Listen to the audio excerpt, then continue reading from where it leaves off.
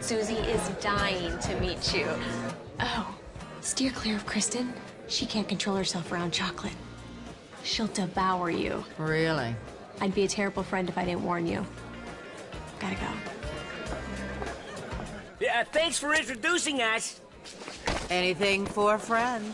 Ooh, strong grip. Ow! So, you want to grab a bite somewhere? Here's fine. Oh, no. Oh, no.